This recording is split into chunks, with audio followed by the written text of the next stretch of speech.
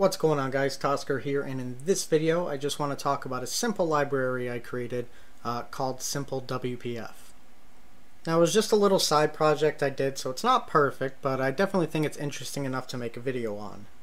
So what it is, is basically a library that implements navigation through utilizing data templating. But overall what this does is it has everything you need for setting up navigation, uh, setting up notify property changes on your view models by default, passing objects in cache between views, transitioning into different windows, and one of the most useful parts of it is the data template manager. Um, whereas if you followed older videos of mine, we usually have to go into our app.xaml, as we see here, and always add in a bunch of data templates for each view model and view type. Uh, this kind of eliminates that need but moving on, uh, there is one thing, and it does need a little boilerplate to set it up. First thing we have here is uh, in our application uh, code behind here. Want to go over here. We just have an entry point for our simple WPF, where we just instantiate a new core. Uh, we set up the startup here.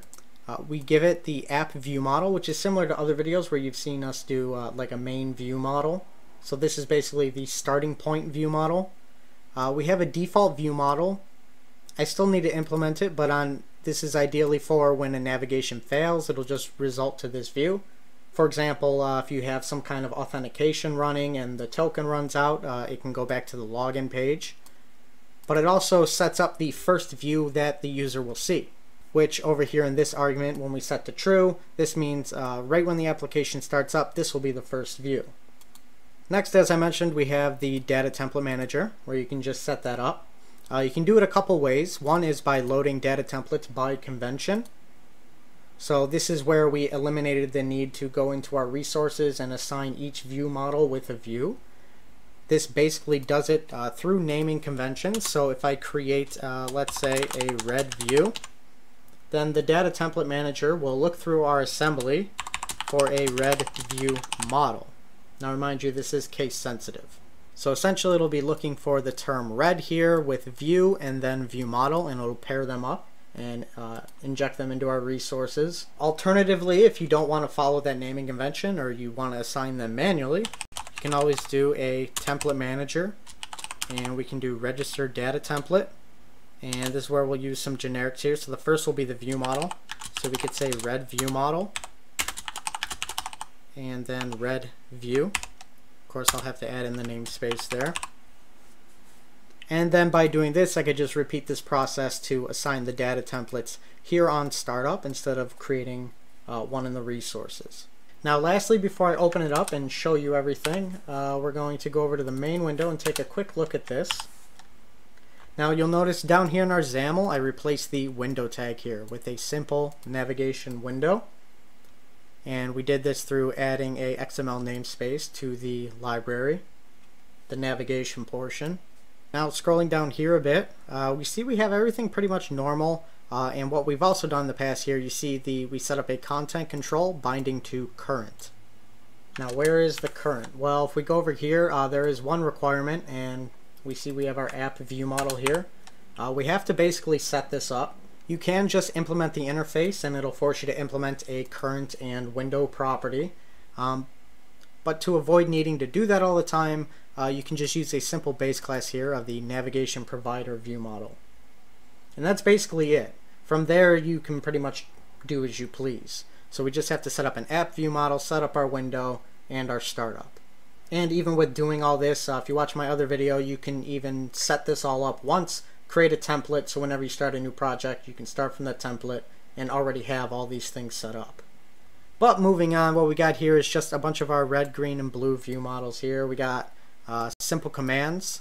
Uh, this also this library also implements the relay command for you and an async command for asynchronous commands. And now we get to the interesting part here. If you'll notice, uh, I'm actually not calling the current property at all and setting it myself. I actually can call it through the navigate which is through the base uh, class that we set up here. And I can just call the navigate, pass it the view model, and it'll take care of the rest because we already set up our data templating, so it'll change the current just by passing the view model. Okay, so our application started, as I said, uh, by default, we gave it a default view model in view. So this is where it'll go on startup. We have a main detail view model set up here, but you don't have to do it this way. Um, and then we can just say, let's go to red. Now that's not that interesting. We've done that before. Um, but in here, we can actually say go to pink. We'll pass it pink, and it'll go to this view.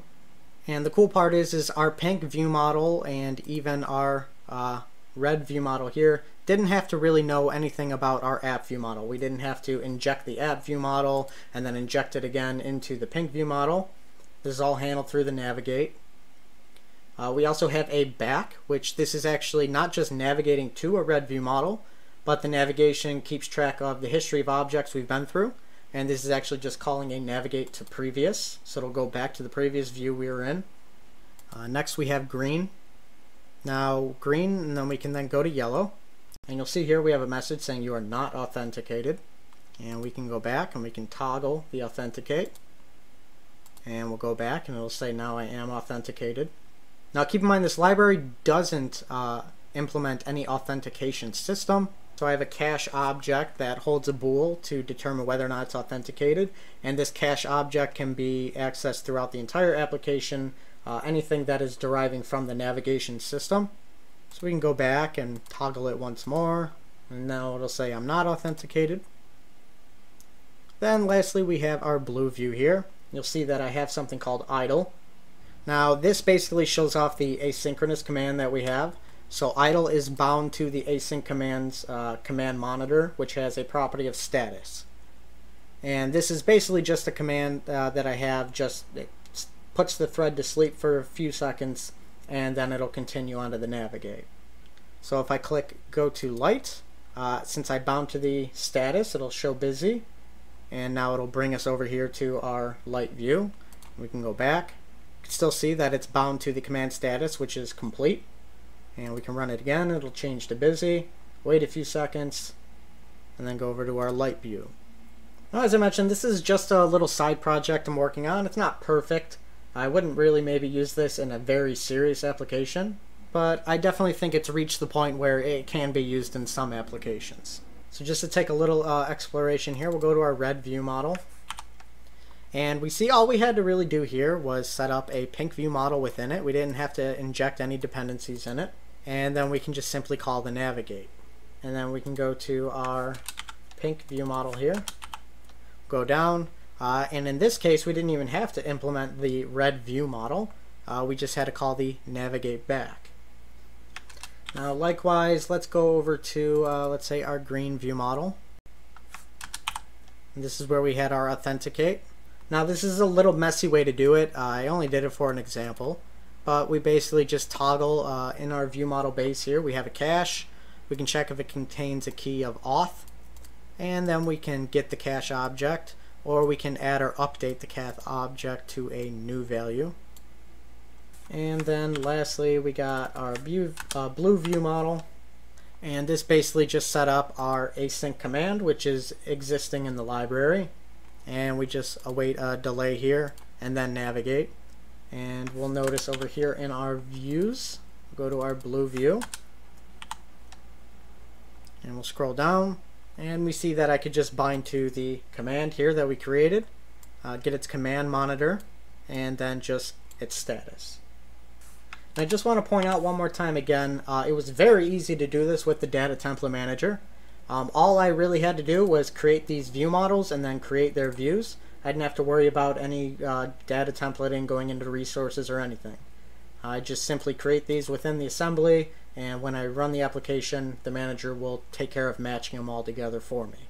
I have a few ideas of things I want to do. I also want to implement a dialogue system so it's easier to make custom dialogues. We've done a video on that. But overall, I wanted to show the video for maybe some of you guys are interested in playing around with it. And then also, uh, if you guys have any ideas of things uh, you would like to see in the library, that would be interesting to see. Now, if you do uh, want to implement this, uh, you can go over to your project and you go to the Manage NuGet Packages. You can then search for Simple WPF.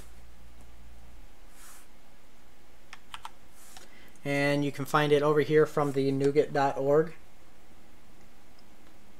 and you can find the simple WPF by Joben28 That's an alternative account I use for more uh, like personal projects that don't have anything to do with Tosker's Corner. And you can simply just click that and then click install.